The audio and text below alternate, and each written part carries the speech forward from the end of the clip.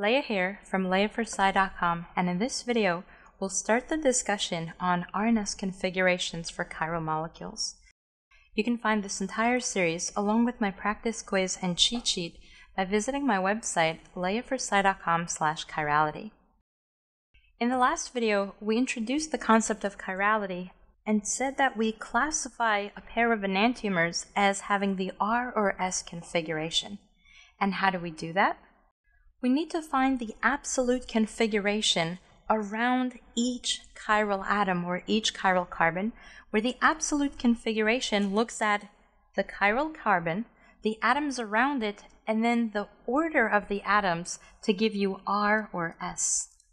And the way we rank these atoms is by following the Cahn-Ingold-Prelog system after the inventors. How do we rank the atoms? By atomic number. Not by the size of the chain, not by the weight, by the atomic number of the individual atom that is attached to your chiral center. This is where a lot of students get confused. So once again, the atomic number of the atom directly attached to that central carbon, that chiral carbon. So you get a chiral molecule, you open your periodic table, you waste a good few seconds looking for the atoms. Don't do that. In my Intro to Orgo video series, I show you the 10 atoms that you have to memorize in your organic chemistry course so that you don't waste your time constantly looking at the periodic table. We have in period 1 hydrogen, period 2 carbon, nitrogen, oxygen, fluorine, period 3 phosphorus, sulfur, chlorine, and then going down bromine and iodine. Why is this important? We have electronegativity going up towards the right, size going down to the left, which is great for reactions. But here's another reason to know them. This is the order that we're going to use to rank these atoms. The atomic numbers will increase from left to right on the period, and then increase as you go down the groups. This tells you that iodine is your absolute top priority if these are the atoms in your molecule. Again, these are the 10 most common atoms that are going to show up in your molecules. So you start with iodine, then bromine, then chlorine, sulfur, phosphorus, then fluorine, oxygen, nitrogen, carbon, and hydrogen is always your lowest priority. The one other atom that'll sometimes come up to trick you is deuterium. Deuterium? Where is that on the periodic table? That's a little bit of a trick that professors like to use to see if you know how to differentiate and also to pinpoint the specific hydrogen in question. Remember from general chemistry that isotopes are atoms that have the same atomic number, meaning the same number of protons, but a different number of neutrons, which gives them a different mass. You don't have to know the specific names for different isotopes, but you should recognize hydrogen. When you think of hydrogen, you're thinking of the hydrogen isotope that has a mass of 1 and an atomic number of 1 because it has one proton, no neutrons, and that gives you a mass of 1. This is protium, or what we refer to as hydrogen. But there is another hydrogen atom that has an atomic number of 1 but a mass of 2, and that's because it has one proton and one neutron for a total mass of 2. This is the heavy hydrogen called deuterium, where the prefix de stands for the number 2. This is the only time where you're going to look at atomic mass instead of atomic number to rank substituents on a chiral center. So when present, hydrogen is always your lowest priority, then deuterium. Here are the four steps I like to go through to make sure that I'm ranking my chiral centers correctly. Step 1. Rank the atoms using the Cahn-Ingold-Prelog system. I will try a few examples shortly. Step 2. Ensure that number 4 is in the back. When we're ranking atoms, we're looking at three-dimensional structures. We have a chiral center with four groups coming out of it, but it's very hard to rank in three dimensions. So if we have four substituents, we say number four is the lowest priority. Let's not think about it. Let's put number four in the back, ignore it, take the top three remaining contenders, and figure out if they will give me R or S. So what you have to do is ensure that number four is in the back. I'll show you what to do if it's not in the back, but you always have to think of it as back. Step three, we're going to cross out number four because again, we only care about the top three priorities. We put number four in the back so that we can get rid of it. And finally, step four, you want to trace an arc from one to two to three because that is all we care about. Chirality is a tricky topic and it's easy to get overwhelmed.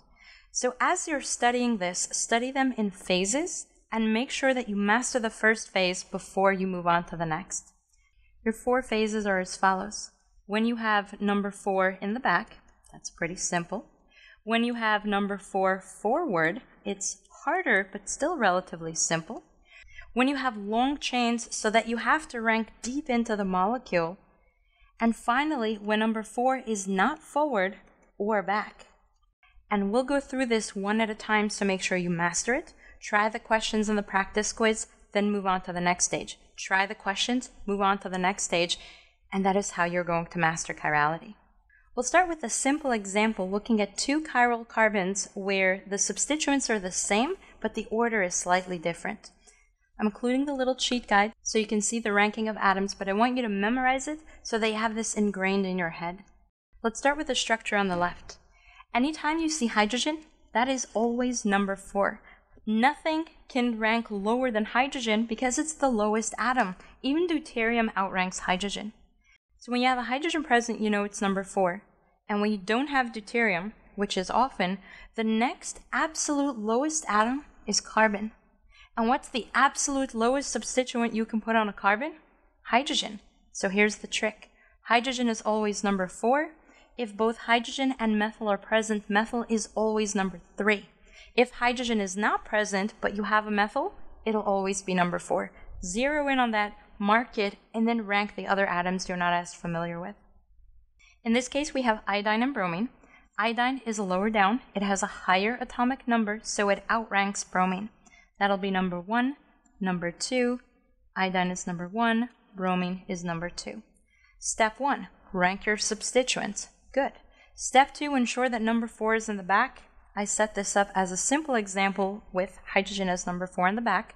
Step three, you want to cross out number four because we put it in the back so we don't have to think about it. And step four, we're going to trace an arc from one to two to three. An arc from one to two to three. Everyone has their way of doing this. I like for my arrowhead on the arc to end on top of the molecule. And that way I can see if the arc curves towards the right, it is R. If the arc does not curve towards the right, it is not R, and the opposite is S. Other ways you'll hear it is clockwise, this one, is R, and counterclockwise is S. Now, I personally will confuse clockwise and counterclockwise or have to think of a clock, which is why I don't like it. But you can think of R as the right way of the clock and S is counterclockwise. It's not the right way of the clock. And that's the absolute simplest type of structure you'll see. But what if it's not this simple? What if you have multiple atoms to look at where it's not that easy to rank in one shot? For example, what if the molecule has a CH3, a CH2, CH3, and here we'll have a CH2OH, and let's put a bromine. So we look at the atoms and we see we have carbon, carbon, carbon, and bromine. Bromine outranks all the carbons. Great, that's priority number one. But what do we do with the rest of them? First thing you'll recognize is when you don't have hydrogen, but you have a methyl, it is your lowest priority. So that's number four. But how do you know to rank the other two carbons? And this is where you have to, what I call, go deep into the molecule. I'm going to show you how to break this up for when you're first learning it, but as you get more confident, you'll be able to look at this structure and without drawing anything, immediately tell what is the higher priority and what is lower. The three substituents that we have to rank here are the CH2CH3. I'll put a black carbon to represent the chiral carbon. We're comparing that to the CH2OH, and finally, if you didn't recognize methyl as number 4, let's compare that as well. Methyl is CH3. The first thing you want to do is look at the atom directly attached to your chiral center. That's a carbon, carbon, and carbon. Because the carbons are exactly the same, no carbon wins, no carbon loses, we have to cancel them all out and go deeper into the molecule. Specifically, we're looking for the highest priority atom attached to the carbon that we ruled out. For the first one, we have hydrogen, hydrogen, or carbon, where carbon is the highest priority. For the second one, we have hydrogen, hydrogen, oxygen, where oxygen is higher priority. And for the last one, we have nothing but hydrogen, so I'll pick any random one. And this is what we're comparing. Oxygen is the highest priority. Since we already have a number one, the group with the oxygen becomes number two. Carbon is the second priority, and the next number down would be group number three. And finally, hydrogen is the lowest priority, giving me the number 4 that we already knew from our trick, but just in case now you understand why it's number 4. Step 1. Rank. Step 2. Make sure number 4 is in the back. Good to go. Step 3. Cancel out number 4. And now trace an arc from 1 to 2 to 3. And in this case, it's counterclockwise the top does not go to the right, so it is not R, instead it is S. But what if your molecule doesn't look this pretty and isn't set up this nicely? What if you're given a molecule in line structure, for example, 2-butanol, where you have an alcohol on carbon number 2 and you're asked to find if it's RNS? We're going to go through the same four steps. Step number 1, rank. We have our little cheat guide we identify the chiral carbon, the sp3 hybridized carbon with four unique substituents. Wait, four substituents? One, two, three. Where's number four? In line or skeletal structure, don't forget you have invisible hydrogens. And instead of writing invisible hydrogens, I'll put it as an invisible number four because we know it's there. It's the lowest priority. We're going to cross it out anyway. Just keep it in the background as a number four. So let's rank. We have an oxygen, which we're comparing to carbon and carbon. Oxygen outranks carbon, making the alcohol priority one. The two carbons are the same. They cancel out, but remember you have to look at what else is on the chain.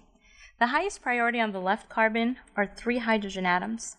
The highest priority on the right carbon is another carbon atom.